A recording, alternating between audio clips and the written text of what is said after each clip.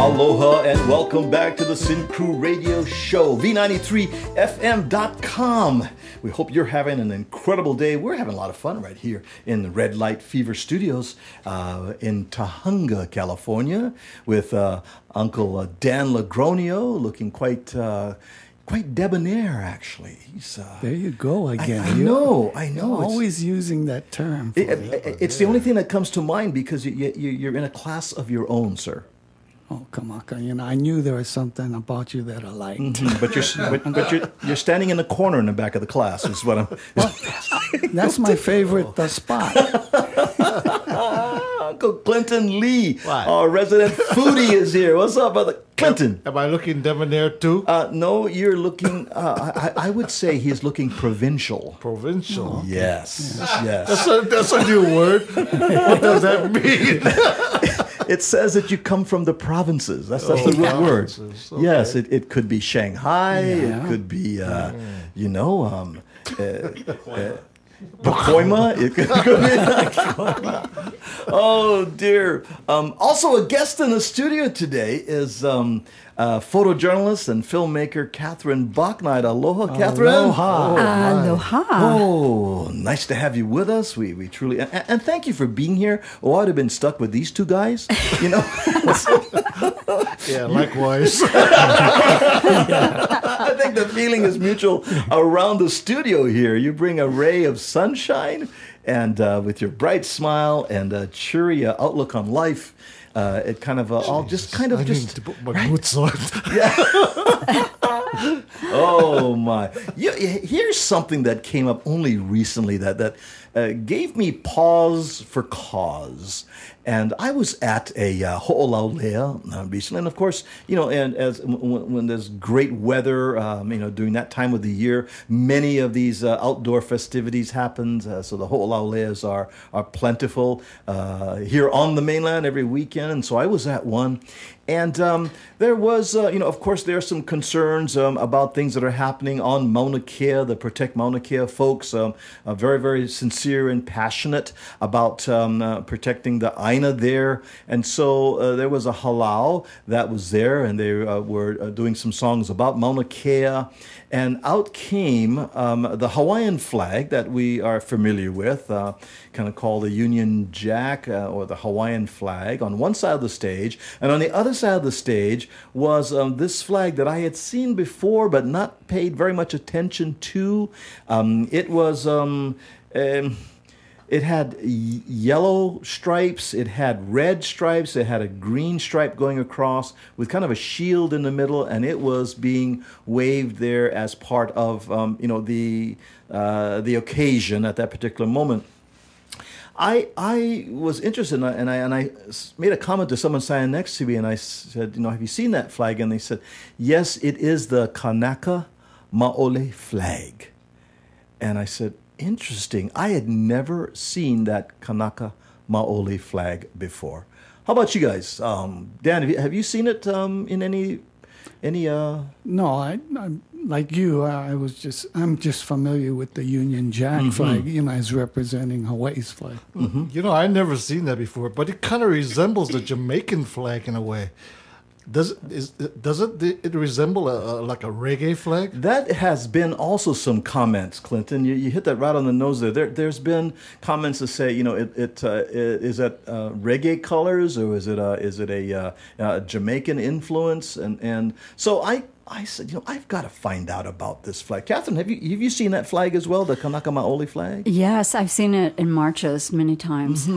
So, you know, my family goes back several generations, um, living on the island of Oahu, and um, um, I have a quite large family, and many of them have been involved in various different um, uh, Hawaiian activist.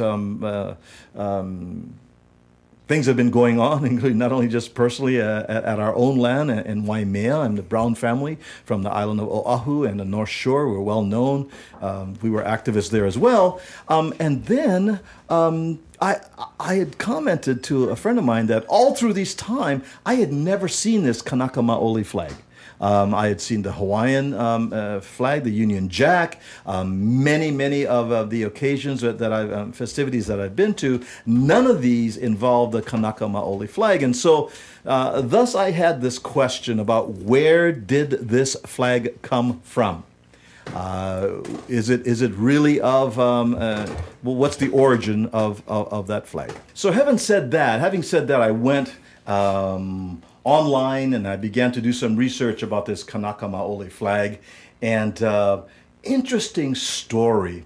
Uh, one story says that there in the Honolulu Advertiser in 2001 a gentleman named Gene Simeona of Honolulu stated that he resurrected the original Hawaiian green, red, and yellow striped flag that was destroyed by British Navy Captain Lord George Paulet, or maybe it's Paulet, P A U L E T, when he seized Hawaii for five months in 1843.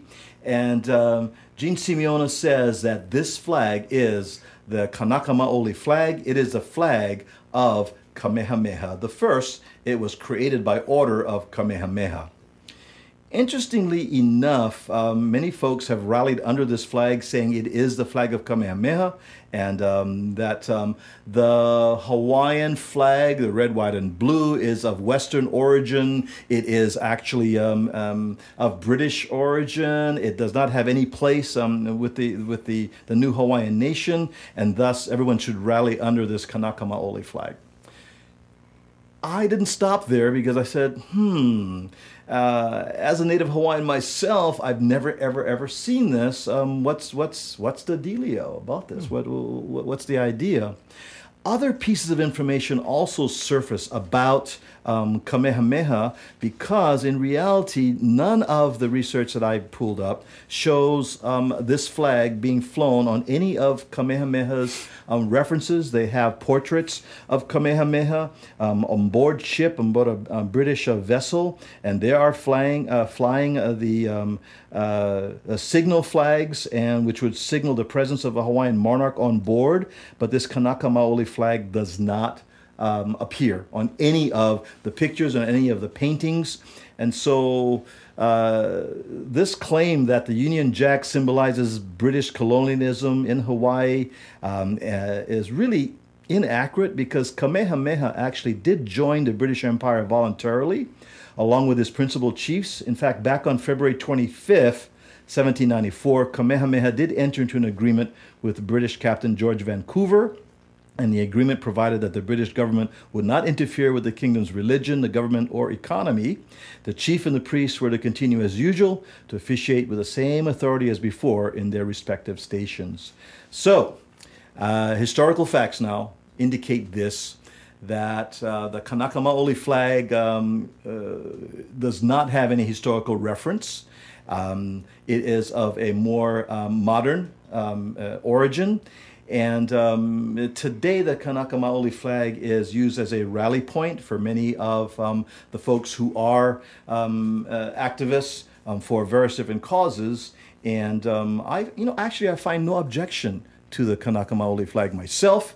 Um, other than the fact that let's not make it as a connection with Kamehameha because Kamehameha did not have this flag, historical references indicate. Mm-hmm. So, uh, many folks are very, very passionate about um, their stand for uh, Hawaiian sovereignty, and uh, many folks are, are very, very passionate about being um, up on uh, uh, Mauna Kea and are rallying under the Kanaka Maoli flag. And I say, right on, that's beautiful. That's beautiful.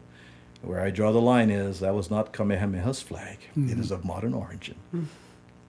A little bit of some factoids about the Kanaka Maoli flag. Good to know. And uh, it has nothing to do with reggae, although it has a kind of a kind of that flair. I kind of want to.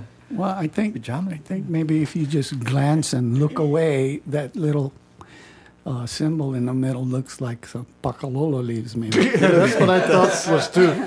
It may but you know, it is a it is a shield. It is um, a paddle. Mm. You know, um, a kahili in the middle. Is that a kahili? Um, it is, um, and the that's a you know the colors have a representation uh, and, and for those folks. So I, I say more power to folks that uh, rally under the Kanaka Maoli flag, um, and um, it has uh, been a rallying point in terms of unity and uh, synergy and passion um, about all things that are pono, and I and I think that's a beautiful Sure. thing. Absolutely. All righty. Good pieces of information here on V93FM.com, the Sandwich Islands Network Radio. We take you back to some great music that you can get passionate and rally around.